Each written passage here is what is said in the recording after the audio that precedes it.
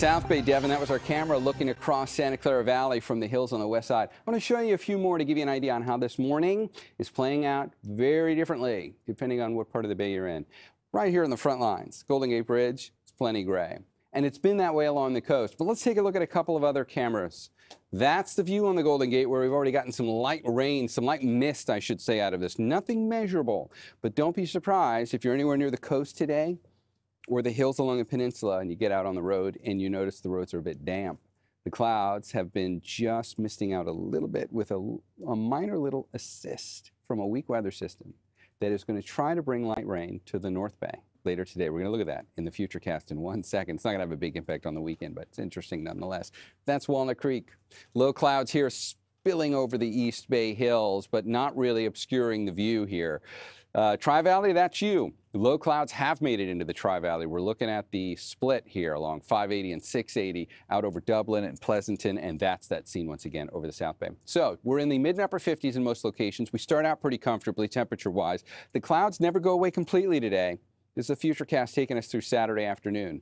The marine layer hangs on at the Golden Gate all day, so it'll stay gray right, you know, like over Alcatraz and the city and the immediate East Bay. And the high clouds hang on as well. You will get plenty of blue sky, don't get me wrong. It'll be a lot like the tour we just did. Today's pretty much going to look like that for most of the day. And the daytime highs to go along with that, low to mid 70s if you're inland. Mid to upper 60s right along the bay shoreline. Santa Rosa will be watching that temperature. You likely won't get out of the mid to upper 60s all day today. Okay, that's rain right now from a weather system right off the far northwest coast. First alert Doppler sees it up there. Futurecast shows us that wants to bring some light rain our way as we get into the late afternoon and early afternoon let's, uh, and early evening. Let's come in for a close-up look at that. And you'll see the showers here that fall apart here up along the North Bay as we get into the late afternoon and early evening tonight.